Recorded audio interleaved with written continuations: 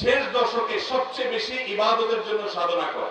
আমাদের ইবাদত সবচেয়ে বেশি হয় বাংলাদেশের সমাজ সামাজিক প্রেক্ষাপটে যদি আমরা বলি সবচেয়ে বেশি রমজানে ইবাদত হয় কখন? শুরুর দিকে। রমজানে মসজিদে মুসল্লি ফুল হয়ে বারান্দা ফুল হয়ে বাহিরে কিছু চাটাই বিছানা বিছাইতে হয় মুয়াজ্জিন সাহেবদেরকে। ঠিক না ঠিক কারণ মুসল্লিরা মাশাআল্লাহ অনেক আসে মসজিদে। প্রথম দশ দিন পার হয়ে গেলে দ্বিতীয় দশক চলে আসলে, এরপরে আস্তে আস্তে ওই চাটাইয়ের মুসল্লি শেষ হয়ে যায়, বারান্দায় দুই এক কাতা থাকে, মসজিদটা ফুল থাকে। আর শেষ দশক যখন আসে, শেষ দশ দিন আসলে তখন দেখা যায়, ওই অরিজিনাল মুসল্লি যেগুলো ছিল পিওর সেগুলোতে চলে আসছে তিন চার কাতা আর বাকি সব হাওয়া হয়ে গেছে। ঠিক না ঠিক বাকি সব কোথায় গেছে? মার্কেটে। কোথায় গেছে? মার্কেটে। আমাদের আয়েশা রাদিয়াল্লাহু তাআলা বলেছেন কারণ নবী সাল্লাল্লাহু আলাইহি সাল্লাম ইয়াজতাহিদু ফীহি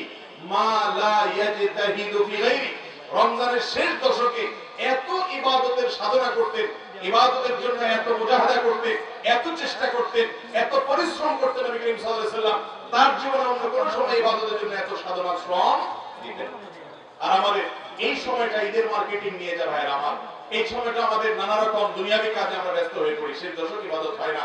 রমজানের স্পেশাল আমল হলো শেষ দশ দিনকে প্রথম এবং দ্বিতীয় দশ দিনের তুলনায় অনেক বেশি গুরুত্বের সাথে কি করতে হবে? আমল ইবাদত করার চেষ্টা করতে হবে। আঠারো নম্বর আমল হলো রমজানের শেষ দশক এতে কাপ করা। এতে কাপ তো আপনারা সবাই করেন, তাই না? সব মসজিদে মুসলিরা প্রচুর পরিমাণে এতে কাপ করতে বসে, তাই না?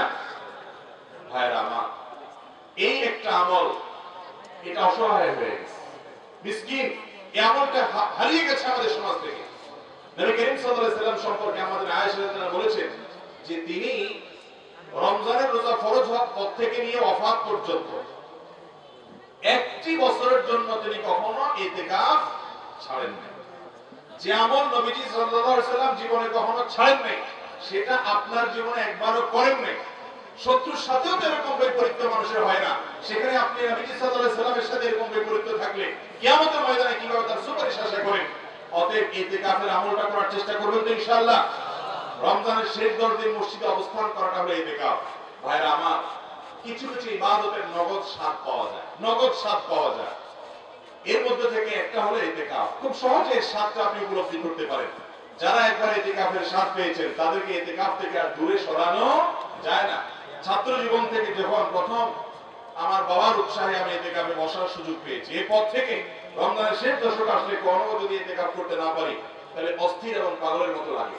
এতেকাফের স্বাদটা এরকম, কেমন যেন আপনি আল্লাহর রহমতের চৌকাটে, দয়ার চৌকাটে গিয়ে কাপড় চোপড় নিয়ে, বিছানাপত্র নিয়ে, কাঁথা বালিশ নিয়ে আপনি পড়ে গেছেন মা ছাড় পাওয়া ছাড়া আপনি আর বের হবেন না।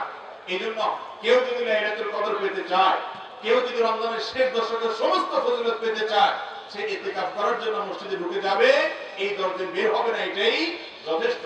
আজ আমরা এত ব্যস্ত হয়ে পড়েছি যে রমজানের শেষ দশক আমাদের ইতিকাফের তৌফিক হয় না। মুরব্বী যাদের কোনো কাজ কাম নাই, তাদেরকে ধরে ইতিকাফে বসায় দেয়। আর যুবকরা, তারা তো অনেক বিজি অনেক কাজ তাদের। তাদের ফেসবুক টিপতে হয় ইউটিউব টিপতে হয়, অনেক কাজ করা লাগে। তারা এতেকাফে বসেন না। এই হারিয়ে যাওয়া আমলটা জিন্দা করব তো ইনশাআল্লাহ। যে আমল নবীজি আলাইহি সাল্লামের জীবনে কখনো ছাড়েন নাই, কোনো রমজানে ছাড়েন নাই, সে আমল আপনার জীবনে কোনো রমজানে হয় নাই। এই রকম বৈপরীত্য নিয়ে কিয়ামতের ময়দানে কীভাবে নবীজি সর্বাদ আশা করেন? এটা একবার নিয়ে করবেন তো ইনশাআল্লাহ। আমি নিয়মিত ইতিকাফের জন্য উৎসাহ দেই, নিজে করি, অন্যদেরকে বলি, আল্লাহর ওয়াস্তে মসজিদগুলোতে লোক ভাড়া করে ইতিকাফের জন্য লোক রাখবেন না। এমন যেন হয় যে লটারি করা লাগে এত বেশি সংখ্যক মানুষ ইতিকাফের জন্য নাম লেখা চেষ্টা করবেন তো ইনশাআল্লাহ। আল্লাহ তাআলা আমাদেরকে এই হারিয়ে যাওয়া আমলকে জিন্দা করার তৌফিক দান করুন। মোহতারাম হাজরিন 19 নম্বর আমল হলো রমজানের শেষ দশকে বেজোড় রাতগুলোতে বিশেষভাবে ইবাদত করা, লাইলাতুল কদর পাওয়ার আশা। কারণ নবী করিম সাল্লাল্লাহু আলাইহি সাল্লাম বুখারী হাদিসে আমাদেরকে নির্দেশ করেছেন, আমরা যেন রমজানের শেষ দশকের বেজোড় রাতগুলোতে ফিল ভিত্রি মিনাল আশিল আওয়াফির মিন রমাদান, রমজানের শেষ দশকের বেজোড় রাতগুলোতে 21 23 25 27 29 এই রাতগুলোতে বিশেষভাবে ইবাদত করি। নবী করিম সাল্লাল্লাহু আলাইহি রমজানের শেষ দশকে আসলে কি করতেন জানেন? তিনি কানা ইদা দাখালাল আশা রমজানের শেষ দশক দশক যখন শুরু হতো সাদ্দাম ইজারাহু, কোমর বেঁধে নিতেন। কোমর বেঁধে নিতেন মানে খুব ভালো করে ইবাদতে লেগে যেতেন। ও আইকাদা আহলা, পরিবারের লোকদেরকে অন্য সময় ডাকতেন না, এই সময় ডেকে তুলতেন। কারণ এত বড় অফার চলছে আল্লাহর তরফ থেকে। পরিবারের লোকরা শুয়ে থাকুক, এটা তিনি সহ্য করতে পারতেন না, সবাইকে ডেকে তুলতেন। এবং আহিয়া লাইলা সারা রাত জেগে ইবাদত করতেন। অন্য সময় সারা রাত তিনি জাগতেন না, একটু হলেও ঘুমাইতেন। রমজানের শেষ দশক রাতে একটু ঘুমাইতেন না।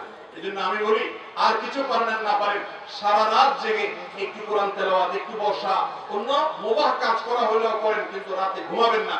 সেই দশকে নবীজি কখনো ঘুমাতেন না। অতএব সেই দশকের বেজর রাতগুলোতে লাইলাতুল কদর বা সবে কদর পাওয়ার আশা বেশি বেশি ইবাদত করার চেষ্টা করতে হবে। বিশ নম্বর আমল। বিশ নম্বর আমল হলো আল্লাহর কাছ থেকে রমজানে মাগফিরাত পাওয়ার যে সুযোগ আছে, অফার আছে, এই অফার যদি আপনার জীবনে মিস হয়, আবার পরবর্তী রমজান আপনি আসলে হায়াত পাবেন কিনা, তাওফিক হবে কিনা, আপনি, আমি জানি না। রমজানের মতো আল্লাহর পক্ষ থেকে মাফ এবং নাজাতের এত বড় অফার অন্য কোনো সময় আসে না। একটি হাদিসে আসছে ওয়াল্লাহি ওয়া তাকাও মিনান প্রতি রাতে রমজানে বহু মানুষকে আল্লাহ তাআলা সাধারণ ক্ষমা কম ক্ষমার ঘোষণা করে দেন যে যাও জাহান্নাম থেকে মুক্ত, অমুক মুক্ত, তমুক মুক্ত, সে জাহান্নামে যাবে না। তার জান্নাতের ঘোষণা হয়ে যায়। আল্লাহর এই যে সাধারণ ক্ষমার ঘোষণা হয়, আল্লাহর যে ওপেন এলান হয়ে থাকে, এই এলানটা পাওয়ার জন্য দুইটা কাজ করতে হবে। এক শীত থেকে মুক্ত। কারণ আল্লাহর সাধারণ ক্ষমা পাওয়ার জন্য মুশরিক এবং মুসাহেনরা উপযুক্ত না। হাদিসে আসছে, বিধান নিজের ভিতরে শীত থাকলে এটা থেকে পরিচ্ছন্ন করে তাওহীদকে স্ট্রং করতে হবে। আর পাশাপাশি শাহনা যদি থাকে, শাহনার একটা অর্থ হলো শত্রুতা, বিদ্বেষ, মানুষের প্রতি। এগুলো যদি থাকে, সে এর উপযুক্ত হয় না। অনেকে বলছেন শাহানা মানে হলো সুন্নাহ থেকে যদি সরে যায়, বেদাতে লিপ্ত হয়, ওই ব্যক্তিকে আল্লাহ তাআলা সাধারণ ক্ষমার আওতায় রাখেন না। অতএব রমজানে পুরো রমজান জুড়ে আল্লাহর কাছ থেকে সাধারণ ক্ষমা পাওয়ার জন্য শিরক এবং হিংসা, বিদ্বেষ, শত্রুতা এগুলো থেকে নিজেকে পরিচ্ছন্ন করার চেষ্টা করতে হবে। এটা রমজানের বিশ নম্বর আমল। রমজানের একুশ নম্বর আমল হলো, সাধারণ যে রুটিন কাজগুলো আছে, ভালো কাজ, যত ভালো কাজ আছে, জিকির, আজকার, দুরুদ, দোয়া, তাসবিহ, তেলাওয়াত, সব সাধারণ কাজগুলো অধিক পরিমাণে মাসে করার চেষ্টা করতে হবে আমলের মৌসুম।